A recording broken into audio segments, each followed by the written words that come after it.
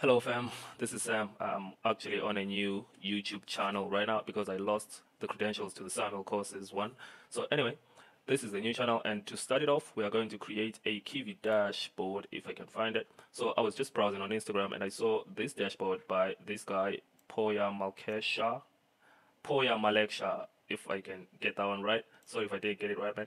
So anyway, this is his Instagram account and as you can see, he's got quite a few shots in here. He's a UI UX developer and this will be his Dribbble page. I'll leave the links of these two links on the description box. So on his Dribbble, you'll see he's got quite a few shots. He's pretty good at his stuff and the one we're interested in is this one the e-commerce dashboard so we're going to be creating this in uh, this tutorial and a few more that are coming so we're going to start from scratch, like from here all the way to all of this. So what we're not going to be creating, however, is the full app. Okay, we're not going to deal with the back end or all the other screens in here because I don't have them. I just have this one. So we're going to create this app, like this UI as you see it, and we're going to cover stuff like uh, you know custom widgets adding plots in there uh, nice images and all that stuff even shadows. So we're going to create all of this but these other screens we're not really going to create but we're going to create this navigation but without the screens in there because we don't have the designs for them. All right? So this is it. And uh, to start off you're going to want to go here like this link and it's going to be in the description as well. So this is the starter template for what we're going to use. It contains all the assets we need and um, some starter widgets in there. So what you're going to do is going to go to code download this and unzip it to whatever folder you want okay? So once you have that we're going to go back to our terminal here and this is the folder where the unzipped stuff is going to be. And in there you're going to have this requirements.txt file. So you're going to want to pip install hr and requirements.txt so obviously i already have all of this. That's why it's done. But for you it's probably going to install some of these packages and you are good to go. Okay so from here you're going to want to open vs code and we're going to start coding so here let me explain the folder structure real quick because this is generated by a script actually that i made uh, to speed things along. So anyway, main.py, the only thing that happens here is uh, this file just imports the main app. So this is the Kivy app, like the one that runs and it just runs it. So this main.py is just there to just run the app. All right, and then our widgets folder, this is where we're going to put all the global widgets, so to speak. So any widget that could go on more than one screen is going to be any custom widget actually that's going to go in more than one screen is going to go here for easy access on all our other screens. All right, and talking about screens, this views folder is where we're going to basically put all the different screens that we have. So here we have this folder home, and this is going to be the home uh, screen, and this is basically this right here, like this part right there. All right, so the views is where all the views are or where all the screens are, like the different screens that we have. The assets folder is where images, fonts, and icons and all other assets for your app are going to be stored. So here we have the fonts and we have the fonts that we're going to use, Roboto, and these are just uh, icon fonts. And then on icons, we have the different icons. So as you can see, these are just PNG images, really. All right. And on images, we have the images that we're going to use. So for example, the chairs images and the avatar images, this is actually just me. Alright, and then on the app is where the root widget of your app is. So this is basically where main window and the app class for Kivy is. Alright, so once you have that, the last one is, uh, this is actually, like I said, this is generated by script, so this folder exists, but we're not going to be using this folder at all for this one because API is usually where I put like the API code. So stuff that gets all the other stuff from the server is usually put in API. So this is where the API client for your server is going to be. But obviously for this one, we're just creating the UI, so it's not going to be there. All right, so to make sure everything checks out, I'm just going to open up the terminal and you want to run this with python main.py. And I'm actually going to run this with a custom size. So I will say something like uh, 900 for the width and uh, 600 for the height and then just run this. All right, so everything checks out. If you have this blank white window right here, then you got it right and you are ready to go. All right. So before we close this one, what we're going to do is real quick, let me go back, is uh, let's create this layout. So we're going to create this dash and then the other box here that's going to be contained that's going to contain all our other screens okay so let's go to VS Code and uh, since this is if you look at this this is the top widget all right so this everything in here might change, but this is never going to change because that's the navigation all right? So since this is never going to change this fits to be in our root widget and that's how you want to design your Kivy apps something that doesn't change put it in your root widget. Like when screens change and it doesn't then put it in your root widget. If it changes with screens then put it on the views okay? So let's go back and let's open uh, main.kv because that's where the root widget is all right? And then main.kv by the way if you look at views is just a box layout okay? So here we have orientation vertical and I'm just going to add spacing real quick and I'm just going to add 8 for it. Alright now let's create those uh, two boxes. So we want a box layout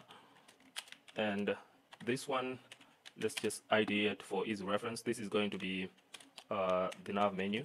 Alright so this is like your sidebar okay? And then let's just uh, duplicate this. And then here on the nav menu let's size size hint x. So we're going to size this and we want it to take uh, roughly 20% of the available width. So we're just going to say 0.2 so Kivy goes from 0 to 1 all right? So 0 meaning 0% 1 meaning 100 so 0.2 is 20% and that's exactly what we want all right? So we're just going to duplicate this and uh, let this one take the remaining 80% all right? And we're just going to actually we don't need uh, that ID there okay so in here we're going we're going to let's go back real quick. So in here you have a decision to make. This you see this good morning uh, Jack Davis and all that it could change with your screens but for this one I'm thinking everything else will be changing but across screens this is going to be the same. So how we're going to deal with that is instead of a screen manager here let's create a box layout like that all right? And then we're just going to call this one uh, maybe action bar something like that all right you don't have to call it action bar but for easy reference that's what I'm going to call it. And then in here we're going to create our screen manager. All right and ID is going to be screen manager. So the screen manager is what helps you to switch between different screens. All right so the screen manager demands that you add screens to it all right? You can't add anything else except a screen widget.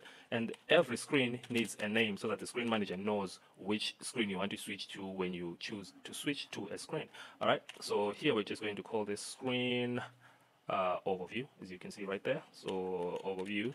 So you can name this however you want but I like to name these uh, beginning with uh, what the widget is all right? So screen overview there. And uh, yeah for now let's just duplicate these and we have analytics. So here analytics. We have sales customers. So sales and customers. Again we're not going to be implementing any fancy stuff for the other screens but you know it's good to have them in there. And then finance. And I'm actually just going to leave it here like you get the idea. So anyway we have all of these and let's just color these before we close this so that you know how it looks right now so RGBI and I am just going to give this like a reddish color alright rectangle so this is how you color your widgets in Kivy. You just basically paint on the canvas, so self to size. All right. Now, the other thing, this is the action bar, right? And the action bar, if you can see, usually I like to make it take about 42 pixels. But in this case, I'll make it bigger. Maybe I'll let it take, uh, let's say size hint Y, right? And to define like a static height or a static size for anything, make sure you have like the corresponding axis to none. So in this case, the height, like the y-axis is going to be none and the height is going to be, so DP stands for density independent pixels, okay? So if you just, for example, write 100 and the screen pixels change, then this height will be affected. Sometimes it appears smaller, sometimes it appears bigger. But if you use density independent pixels, then it will try to calculate the height for all the different screens that you have. All right, so in this case, I am going to make it, let's just make it 84 for now all right and if it doesn't work then well, obviously we'll just change it. So this will be 84 pixels and then this box layout will take the rest of the available screen height. All right so the other thing i want to do is up here let's add some spacing and we're just going to add uh, 8 pixel spacing. And uh, that will be that. So now let's just copy this. All right make sure that everything looks the way we want.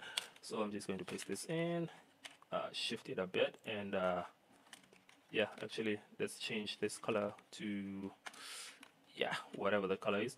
And uh, so this is uh, this right here all right and then now let's color this so that and uh, by the way we are not going to keep these colors. We just i just want to put them in there so that you see how the layout looks currently all right so that'll be that. And uh, I believe everything should be in order now. So let's just run this alright and uh, we have quite the problem and I know why. We have an orientation where we don't need it so let's remove that orientation real quick and uh, boom. Alright so look at this. This is the left navigation so that purplish color is this alright and then ooh, where did it go? And then this yellow right is this and then we have a problem with this because we didn't define the orientation. So let's fix that real quick and this is where we're going to stop. So the orientation we want is right here. So orient orientation vertical like that. All right and now if we run this here we go. So this is the navigation and this is the top part that uh, action bar and this is where the rest of the stuff is going to go and I think this is actually too big. So I'm just going to reduce this make it 64 let's make it 64 and see what gives. All right run this and yep looks good. So that's the spacing right there. And now we have like the basic layout. So now all we have to do is fill in the widgets in here. And uh, let me just compare this real quick before I end. Hmm, looks uh, nah I hate it. It looks too big. So I'm just going to reduce it uh, just a bit. So it's right here. I'm just going to make it 1.5 give the rest of that 0.5 in here. Okay. And now if we run it yep looks good now. So let's uh okay maximize. Interesting. So anyway there we go. Uh other thing let me deal with the paddings real quick. Let's see. Yeah we definitely have padding here and at the bottom but looks like it's on this widget only. So let's add that padding real quick before we close this. So action bar we want to add padding here. Let's add that padding and for my cases I'm just going to add uh, 12 left right so padding uh, is a list property. So this first value means from left to right. So basically the horizontal padding and then this one is the vertical padding. So vertically I will let uh, yeah 8 should be good.